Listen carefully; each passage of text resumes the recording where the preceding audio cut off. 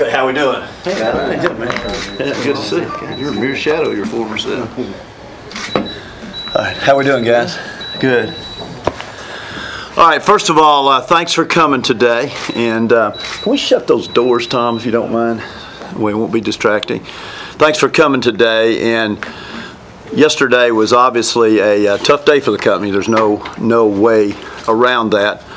Um, but as I told our senior management team on the phone, this was, and this was last night, Monday night, I was telling them, this was a, this is a great company. It was Sunday night, it was last night, and it will be tonight, and it will be going forward. We were obviously shocked uh, by the events of yesterday. I think you all, all have known us for a long time, and pilot value, pilot flying J value number one is do the right thing all the time, and we steadfastly believe we have done that. And we'll, of course, cooperate with the appropriate law officials 100% and feel fully confident that things will work out well for Pilot Flying J during the investigation. And I'll be glad to take any and all questions. Who wants to go first? Just what is the new, I mean, I think there was a statement application of rebates to a small group of customers. It, it appears to be centered on it. Remember, we don't know a lot, okay? So let, let me just state that, and you'll probably get tired of me hearing me say that today. It appears to be centered on a very insignificant number of customers and the application of rebates. You say application of rebates, what do you mean? That the rebates that were owed to the customers were not paid. And we, of course, disagree with that. Do you know how much money we're talking about? I do not. We do not. Is this a criminal investigation or a civil? Uh, It is criminal investigation, yes.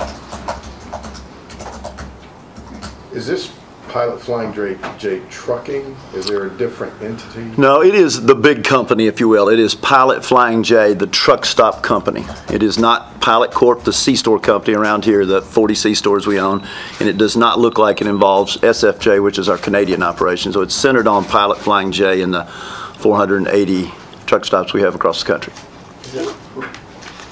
Can you talk about the situation in which a customer would get a and how that works? Yeah, and I, remember, I'm not involved in that kind of detail in the business, but l- let's say we have Halloran Hill Trucking, and we go call on Halloran and we say, if you'll buy 50,000 gallons a month, we will give you, agree to give you X amount of rebate, and if you buy 100,000, you might get Y amount of rebate. Now, there's a lot of different formulas, but that's one way in which it might work.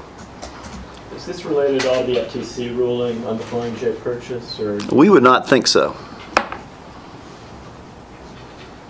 Does Pilot Flying J have any uh, connection to Service Provider Group? Have they ever done business with them before? Service Provider Group? Yeah, it's a, another business here uh, that also under a a raid back in February. I've never heard of them. So as far as you know, the company hasn't done any business with them? Well, I've never heard of them, so that's all I can say. Can you talk about, back to the rebates, can you talk, of, um, uh, who, who would be the ones out? Well, we have 23 sales, sales members spread throughout the country who are calling on trucking companies every day. We have 3,300 trucking companies we do business with uh, every day, and the numbers fortunately is going up every day. And, and I'll say this, the support we have gotten from our trucking company customers has been uh, candidly overwhelming. You always wonder about something that, like this and the reputational hit uh, that you might take, because if you're a trucking company, you might take a step back. But we have reached out to almost every trucking company. Many of them called us last night and show us support and feel very good about our ongoing relationships with the trucking companies. And I think one of the reasons that PFJ has been able to grow to the size it is, is we have outstanding relationships with trucking companies, whether it's Swift with 15,000 trucks or Hal Hill Trucking with nine trucks. And, and we do business with lots of small and lots of large trucking companies. Could you talk a little bit about uh, what effect just had on your operations? Like, have you had any kind of concern from suppliers? We have had, uh, anytime anything happens like this, suppliers get concerned because they're worried about what? They're worried about they're going to get paid. Yeah. And um, All our stores, we, we have not had any stores close, okay? All our stores were open. Everybody reported for duty at normal here at 7 or 8 o'clock, whatever time they come in, so it's been business as usual. I think we might have had one run out of fuel uh, up in Minneapolis. Whether that was related to this situation or occasionally we just run out of fuel, I can't say. But for the most part, our suppliers are working well with us. By the time this news got out yesterday, it was late in the day and people were closed for business. But our supply team did an outstanding job last night. I came in this morning about 5:30, immediately went to the S and D floor, and all 500 properties had fuel, which is what you worry about first and foremost, because our job is to take care of those trucking company customers, and if we don't have diesel, we're not taking care of them. Were you told before they came? Absolutely not, Al. What did they tell you about coming back in? When they, when they got done, did they tell you, now you can go back to business as usual? Yes, yes. I, um, I left the building here about two yesterday and, um, went home and we had a representative here representing the company and they, they allowed, it was very professional, they allowed all our people who needed to be in the building to run the business. So if you dispatched trucks to, to pull gasoline and diesel, you stayed in the building. If you were in charge of maintenance, you stayed in the building. If you had, ran our call center where general managers calling with questions, you stayed in the building. All essential personnel stayed in the building, which candidly, we're very thankful for because otherwise the stores wouldn't be able to stay open. They allowed us to come, I came in back in about 11 last night, got some stuff, and uh, they said they would be done sometime in the next couple, three hours. And I was here bright and early this morning. It was, like I said, it was business as usual. And our people have done a great job of rallying, hanging tough, doing their job. What did they say? I don't really know. I don't really know. So you couldn't talk what departments they were focused on or anything? Not really. You mentioned it was, uh, it appears to be centered on an insignificant number of customers. What exactly do you mean by that? In the total scheme of things for Pilot Flying J, we would say it's extremely low percentage. Can you give us an idea? I I don't, I don't know that exact amount. I don't want to quote something and be wrong. We're still looking, but we believe it to be a low number. Let me just say that. Can you confirm the number of search warrants that were um, issued and executed? I don't know if there was, I know there, I think there were two, but I may be wrong. There could have been ones for different buildings. There was some confusion today. They didn't have a se- a search warrant for one of the second buildings. They got it last night late, and I think it came out on the news today that there was another one, but I think that's incorrect, and I think we issued a statement telling everybody that.